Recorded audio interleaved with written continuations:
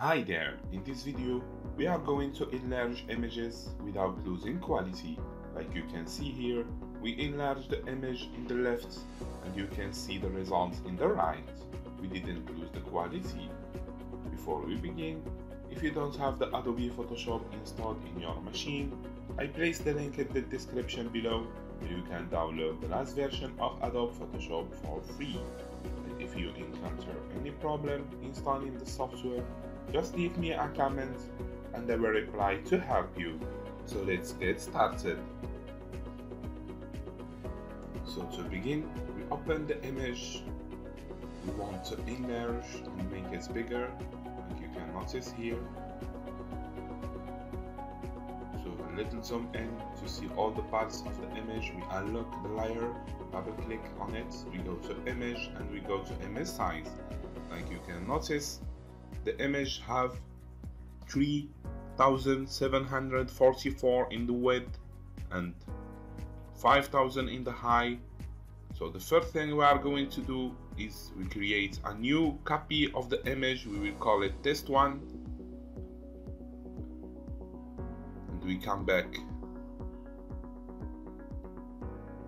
to layer new duplicate layer new we create a new copy we call it test2 so now we have three copy of the image. We will enlarge each one with different method. We go to image image size for the width. We will enlarge it from 3000 to 9000 like you can see. And for this time we will choose preserve detail enlargement in the option. And for the reduce noise we will choose 10% and we, can, we will click OK.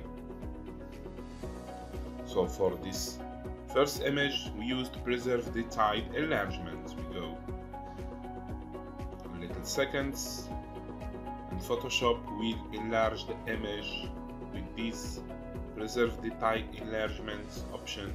You can notice here we go to test one image image size we will make 9000 like other time and we will choose preserve the detail to 10 this time.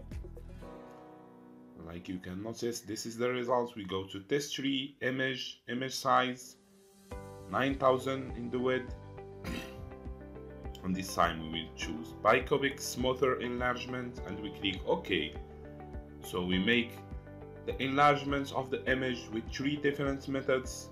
So now we have to choose which is the best one for us. So we will show the images three vertically. We go to arrange match all. And they are the three images. They are in the same point now. With the move tool we will move the image a little to the left to make the comparison also this image here to the left this is test one and this this is the last one test two image. We arrange them vertically like this to see the difference and to see which which one is the better one.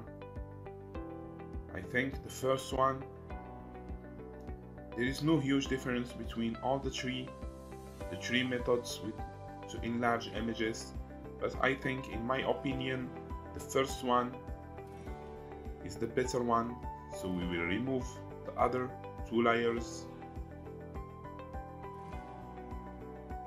We remove this one and we will remove this one and we will stay with this one here which was the preserve detail enlargement the first option in the image size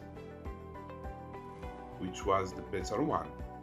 Alright guys, I wish you enjoyed this tutorial. Don't forget to subscribe to get the tutorials coming up. If you have any issues installing the software or applying today's lesson, just leave me a comment and I will reply. Thanks for watching and see you in the next tutorials.